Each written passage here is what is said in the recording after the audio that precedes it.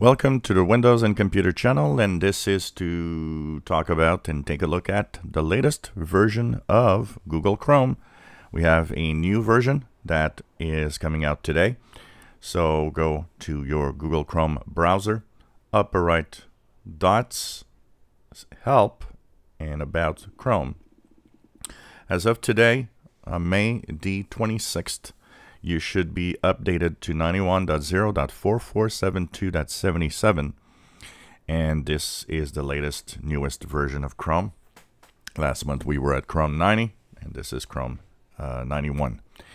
Now, uh, for those that were asking, a lot of you are asking, why doesn't it update automatically? I, it actually does if you use it every day.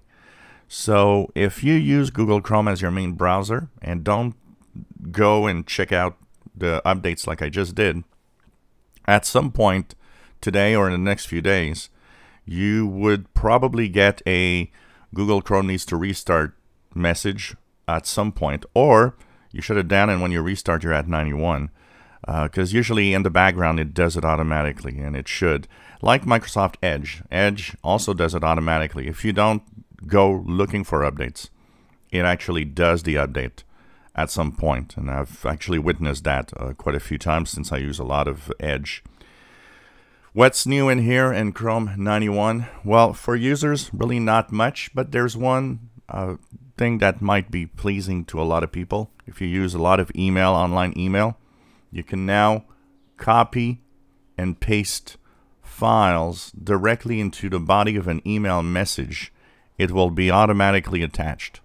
So, you know, before often you had to click that little, you know, icon and then you would go to the file explorer, which would bring you to the file that you need to attach and blah, blah, blah. Here, copy paste. No more going through all of that, those steps. So just make sure that you copy it. Once you're in your email, you, you can right click or uh, do control V for uh, attaching your message into the body of your email. So this is kind of nice. It has slipstream protection added. Uh, there's a few ports that were blocked last time because we have a problem with some of the ports being used for attacks. And so last month, port 554 for HTTP, HTTPS, and FTP server connections um, were blocked. Now, uh, port 10080 is also blocked for the same reason uh, because of the NAT Slipstream 2.0 attacks that can happen. So this is to mitigate the possibility of such an attack uh, happening. Uh, for the rest, it's mostly developer stuff, a lot of it. And 32, yep, you got it here, 32 security updates in here.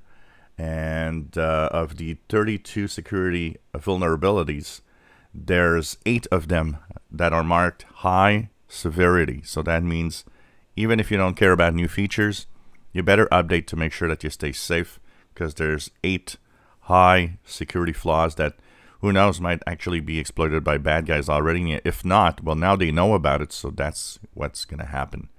So uh, update to the latest version. Once again, if you want to have the latest version, see if you have the latest version.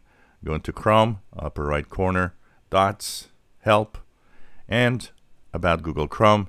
You should be at 91.0.4472.77 as of today, Wednesday, May 26th, 2021. If you enjoy my videos, please subscribe, give us thumbs up. Thank you for watching.